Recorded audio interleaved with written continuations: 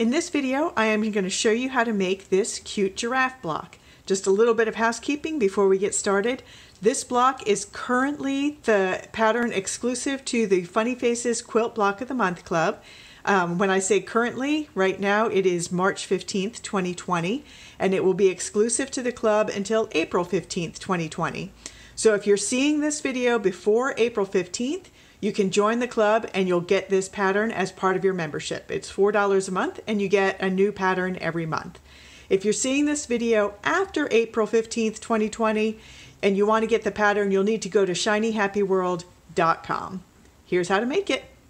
Okay, the first thing you're going to do is print your pattern or trace it onto the paper side of paper-backed fusible adhesive. I use Heat and Bond Lite and the way the giraffe lays out, there's a little bit of extra space.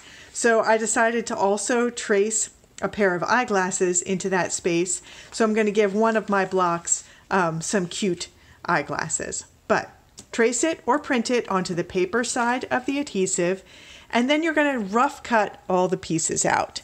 And rough cut means don't cut right on the line. You want to cut a little bit past the line and give yourself a little extra extra anywhere that there is a dotted line.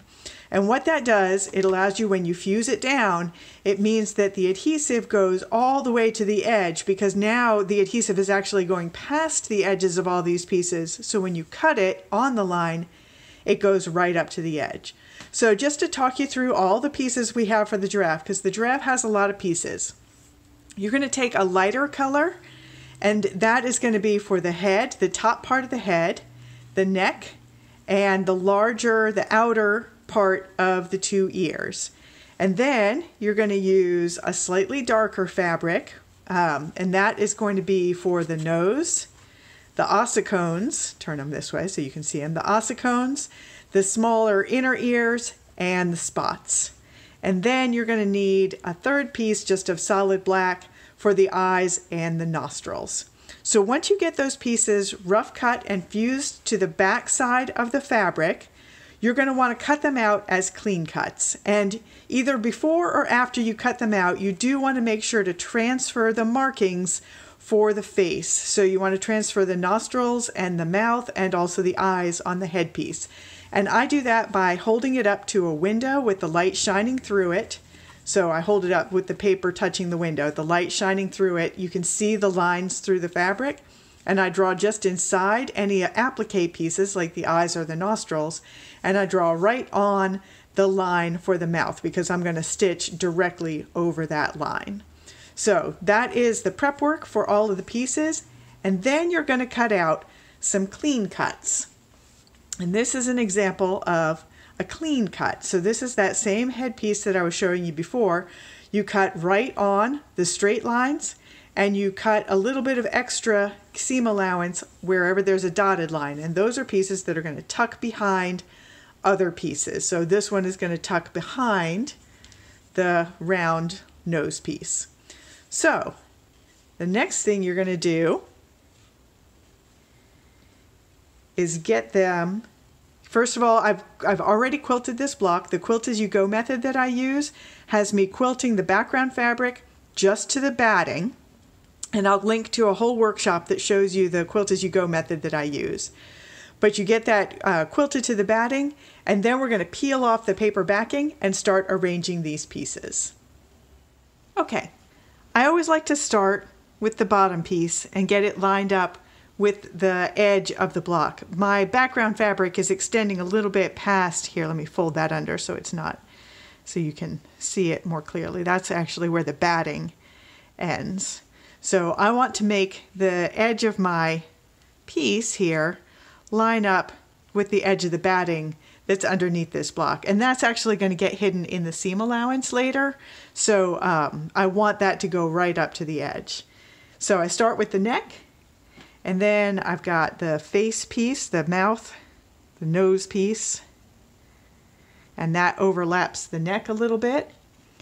And then I'm going to come in and I'm going to tuck the top part of the head behind the nose bit. And I just lift that up a little bit to make sure that I've got enough of a seam allowance that nothing is going to come loose there. You want between a half or between a quarter inch and an eighth of an inch. Um, I wouldn't do any less than an eighth of an inch. There we go. Then I'm going to tuck some ears behind his head. We start with the big ear pieces. And then I'm going to put in the darker ear pieces.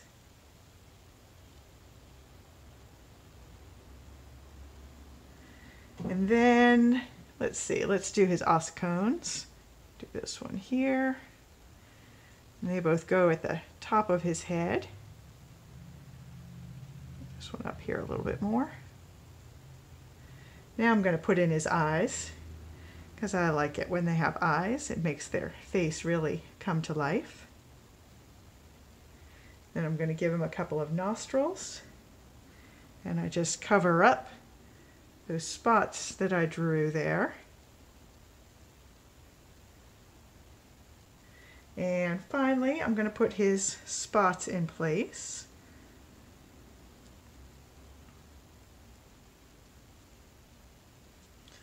You could trace the position of the spots if you want to on the neck, but it's really, it's not like the eyes where it's really important where they go, just as long as the spots end up on his neck somewhere. All right, so now he's got all of his pieces in place. Take a good look at it. Make sure you like where it go, everything is. In fact, I've decided I want the ears to go up just a little bit higher here. All right, that's better. So now I'm going to take it over to the ironing board. I'm going to fuse it all down and I'm going to outline everything and then I'll bring it back here and show you how it looks after the outline stitching is done and I'll kind of talk you through the path that I follow with that outline stitching. Okay, here he is all finished and I'm just going to walk you through the path I took to outline him. When I outline, I try and do it in a way that there's as little stopping and starting as possible. So I started right uh, on the outside of his little mouthpiece here, right outside this line here. And I went around once, twice, three times. I like to go over it three times just using a normal thread. It gives me a thick line, but it also gives me, um, try and zoom this in a little bit. It gives me a kind of a scribbly, sketchy look. I want it to kind of look like a drawing in a sketchbook. So I finished three rounds around his mouth. And then I overlapped a little bit and went up around his head once. And then on the second pass, that's when I like to take care of all the appendages, anything sticking out. So I came up a second time, went to the top part of his ear, and then around the larger part of the ear, I went one, two, three, and then I continued again up his head until, I got to the top part of this inner ear, and I went one, two, three. Then I continued up past the first, the to the second side of the first ossicone and went around once, twice, three times. And then on and past the base of the second ossicone, one, two, three. And then continued around past the ear to the bottom edge of the big ear, one, two, three. And then past to the bottom edge of the little ear, the inner ear, one, two, three and then on down to the mouth again. And then once more for a third pass all the way around the top of the head. And that does lead to a little bit of doubling up, like at the base of the ossicones and at the base of the ear, but you can't tell the difference between three rows and four rows of stitching, so that works out really well. Then I came down here and I took care of his neck and I started here. One, two, three, came across the bottom. You're not going to see this stitching here because it's going to be sewn to the next block but I uh, went one, two, three over this lower spot and then continued on down here and then one, two, three, and tied off. Now there's a bunch of stuff, there's no help for it, you've got to stop and tie some knots. So I ran around, around each eye, each nostril. I only go around the eyes and the nostrils once because it's black on black and you can't see it anyway. And then for the mouth, I did three times on the mouth and then three times around each of the remaining spots and that takes care of him. So to talk a little bit about fabrics before I show you another colorway, this is using the, um, the Rainbow Sherbet background bundles for the pastel blue in the background. And all of the fabrics that I used in the giraffe itself are from the Warm Neutrals fabric bundle. So now let me show you another more playful version.